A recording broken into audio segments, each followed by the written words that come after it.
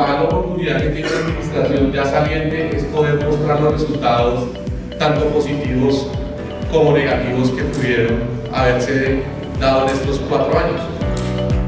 Hoy estamos aquí para entregar los logros de esta administración y tener un diálogo directo, abierto y esperando que sea lo más participativo con la ciudadanía.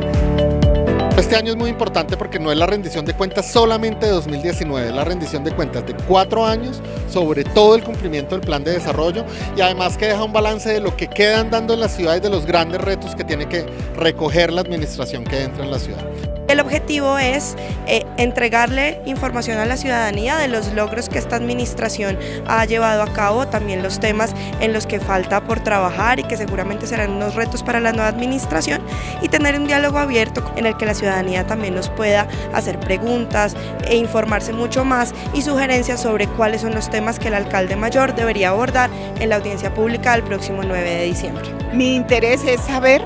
lo de mi adulto mayor. Me parece interesante este espacio eh, para los ciudadanos